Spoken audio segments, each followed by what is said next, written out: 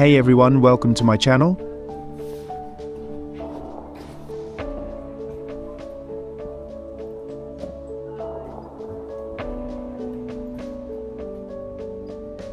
In this second part of the video, we will be covering most of Rangitoto Island and making our way to the summit.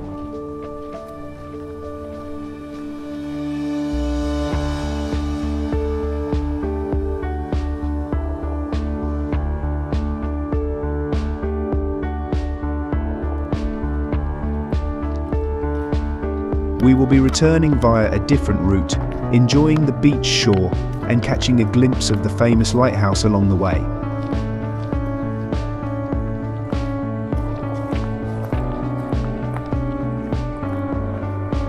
It is a scenic path that offers a variety of landscapes to explore on our way back.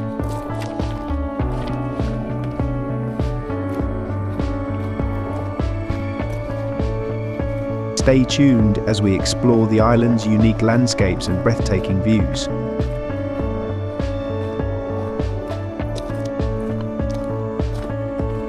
It is going to be a long five to six hour hike and we've fueled ourselves with snacks and drinks since nothing is available on the island due to biosecurity measures.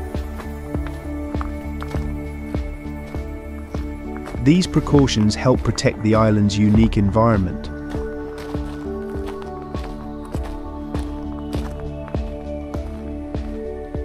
Just look around at this lava pathway and now catch a glimpse of Auckland from the island is simply mesmerizing. The skyline set against the vast ocean creates a breathtaking view that's hard to beat. The contrast of rugged lava fields with the distant city is truly unique.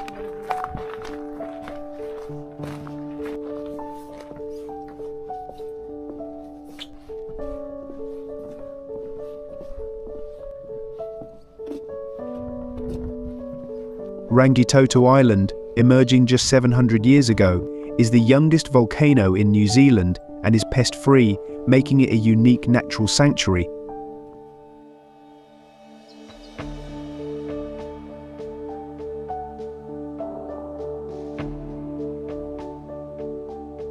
An Auckland icon with a rich history, Rangitoto Island has long been a favourite day trip for walkers and a much-loved destination for boating enthusiasts. Its scenic trails and volcanic landscapes make it a must-visit spot.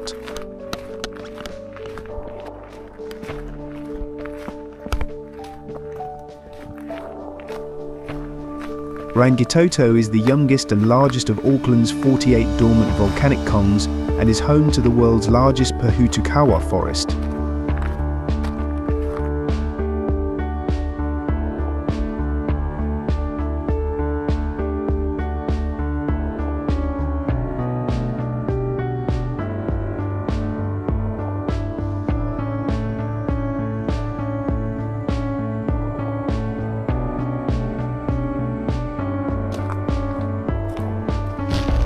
Its expansive landscapes and unique ecology make it a remarkable destination for nature lovers.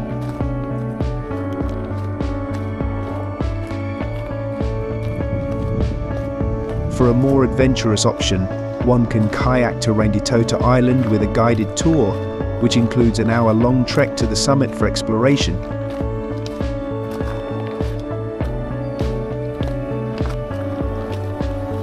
It's a thrilling way to experience the island's stunning landscapes while adding an active twist to your visit.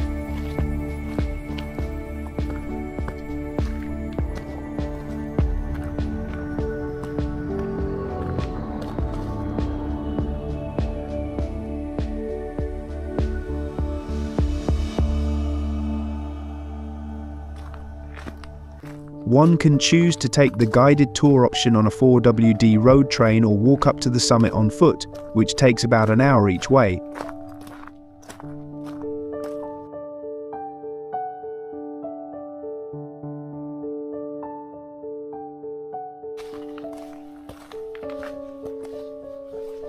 Along the way, you can explore the fascinating black lava caves. Be sure to bring a torch to light the way, especially if you have kids with you.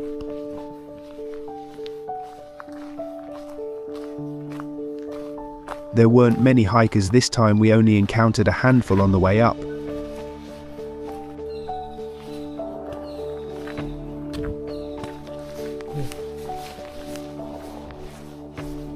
Reaching the summit can be a bit challenging if you're not a regular hiker, as the path has many elevated sections.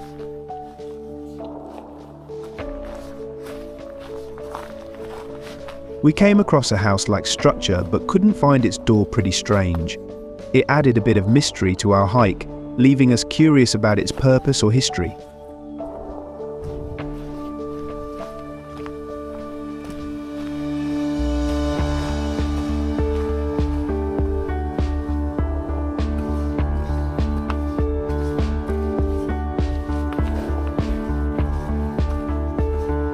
We almost got exhausted since it was quite humid that day and it even rained for a while. Thank goodness we were prepared.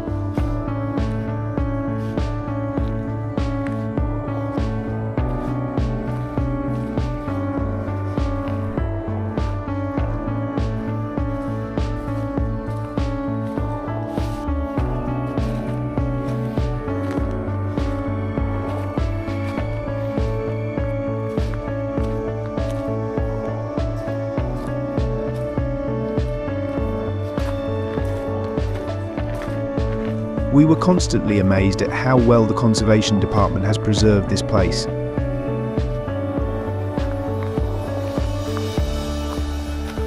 Look at this massive rim crater. It's an impressive sight, showcasing the volcanic activity that formed Rangitoto Island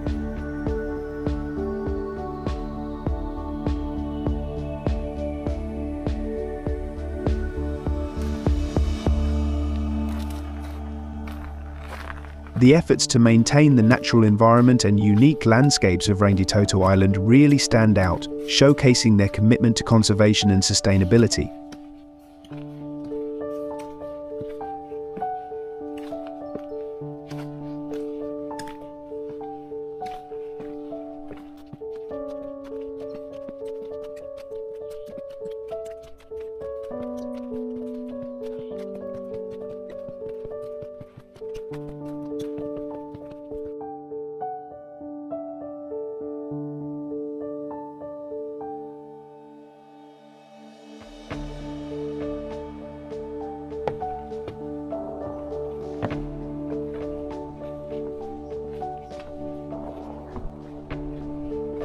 Finally, we reached the summit of Rangitoto Island.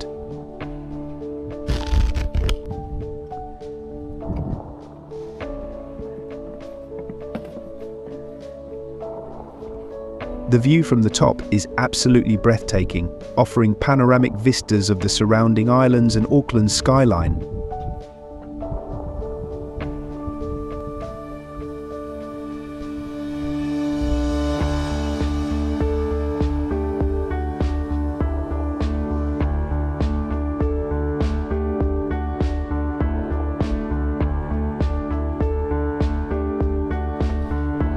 An old World War bunker used by soldiers stands as a historical reminder of the island's wartime significance.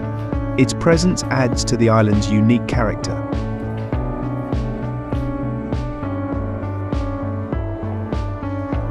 Most people at the summit had brought their food and drinks, enjoying a relaxing pit stop while taking in the stunning views.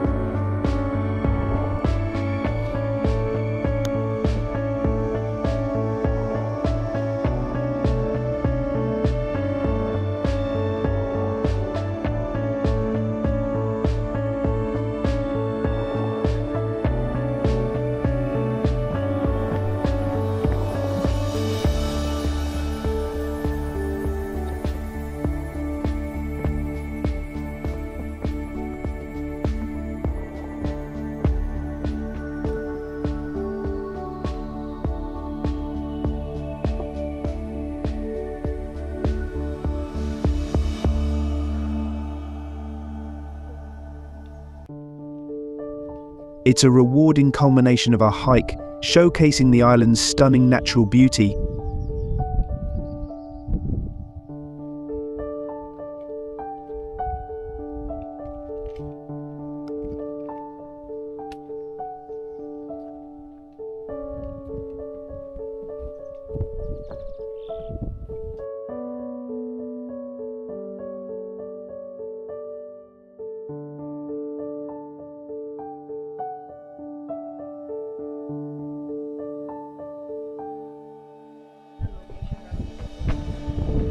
After spending some quality time at the summit, we decided to walk down towards the lighthouse.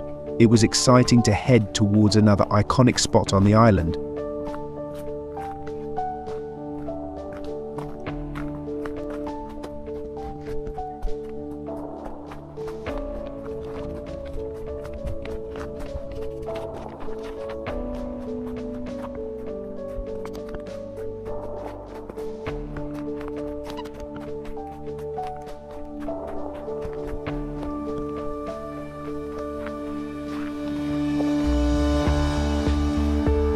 On the way, we found another old bunker that was used during previous world wars.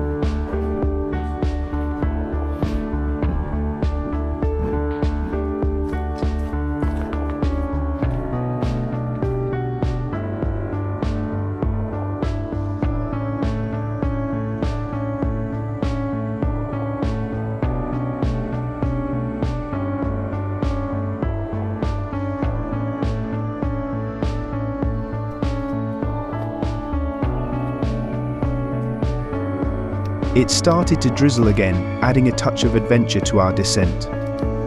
Luckily, we were prepared with our gear, making it manageable as we continued towards the lighthouse.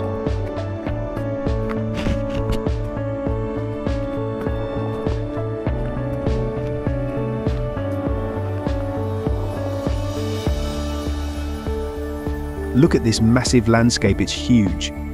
The expansive views of Rangitoto Island and the surrounding waters are truly breathtaking.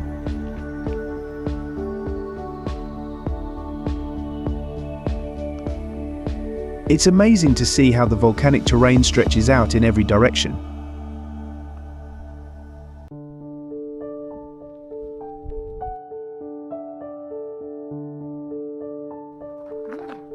There were several times we got lost and became confused about our route.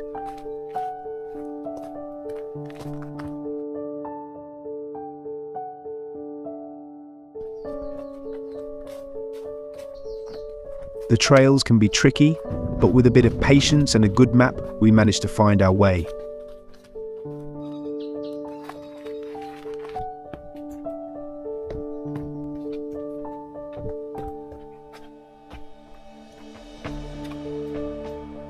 It felt like we were in a tropical forest with the lush greenery and vibrant flora surrounding us.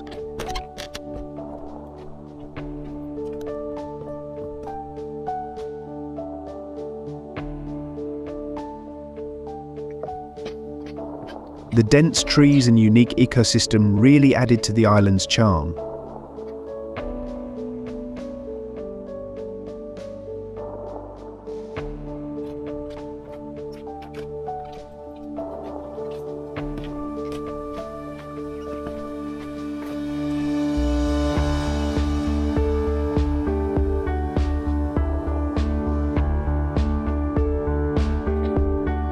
Since we were short on time and wanted to catch the last ferry, we couldn't visit the other island parallel to Rangitoto. It's definitely on our list for a future trip.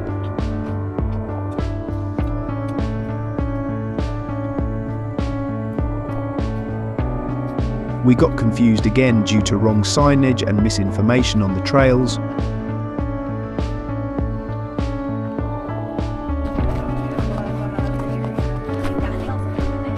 Thank goodness we found a Canadian couple who were aware of the route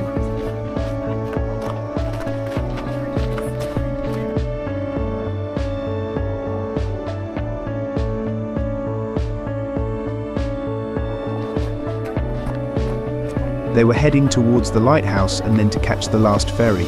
We had a really nice conversation during our walk, which made the hike even more enjoyable. We talked about Canadian and Indian cultures, their economies and geopolitics. It was a brief but interesting exchange during our walk to the lighthouse.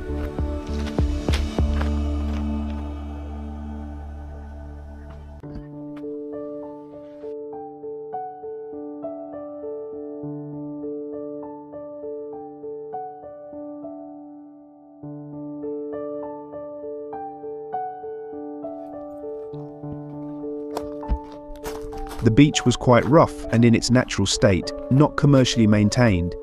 Its untouched beauty added to the wild, authentic feel of the island, making it a unique experience.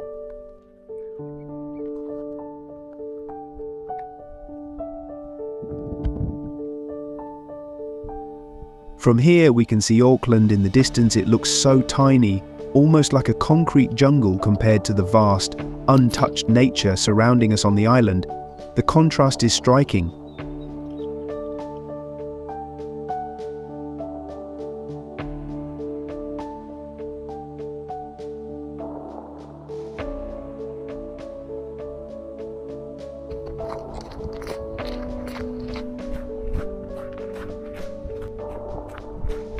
On this route, we couldn't find a single bench to rest on, which was disappointing. After a long hike, having a spot to sit would have made a big difference.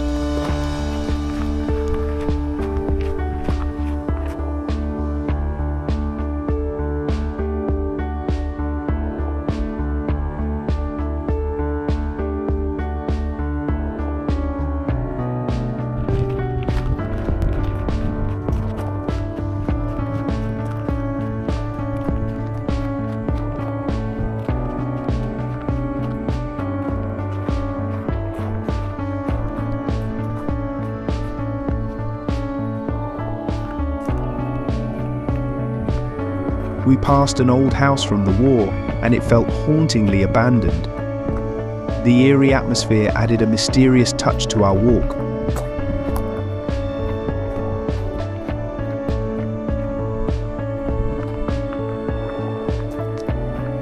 It was a chilling reminder of the island's history,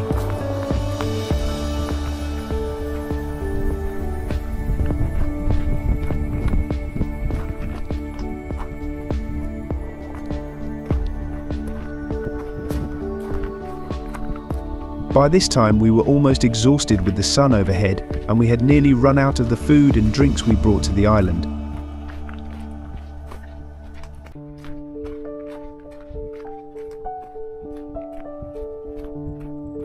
The Conservation Department has some houses on the island that are used as overnight accommodations. However, one need to book in advance and get permission from them to stay there. Now we wanted to rush back to catch the ferry and relax. After a long day of hiking, a little downtime on the ride back sounded perfect.